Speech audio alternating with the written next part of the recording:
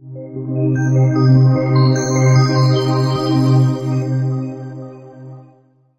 What's up everyone, Drew Pickens here. We have an iOS 7 Cydia tweak. This one's on lock screen tool and what this one allows you to do is it'll simply give you the option to customize the text on the lock screen from slide to unlock to pretty much anything you want. Then it'll give you the option to get rid of your camera grabber. So let's go ahead and check this one out. Now before we do, we do get a few options within these settings. So let's jump into the settings and simply scroll all the way down till you find lock screen tool. Now right here it is. So inside the lock screen tool we have a few options here as you can see. We have show text on the lock screen and then we could write the text. We could write anything we want on the device. So as you can see I just pretty much wrote iOS 7 jailbroken and I do have the camera grabber turned on to where it's no longer available. So let's go ahead and lock our device and bring up the lock screen here. So as you can see here is the text that I wrote, and as you can see here, the camera grabber is no longer there.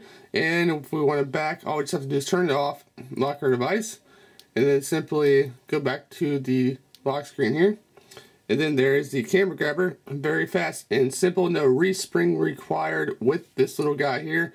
And we could even change the text one more time, and we can just name it iOS 7. Lock our device, unlock it, and there you go. Sometimes you have to go back into the settings before the changes take place. So let's try that one more time.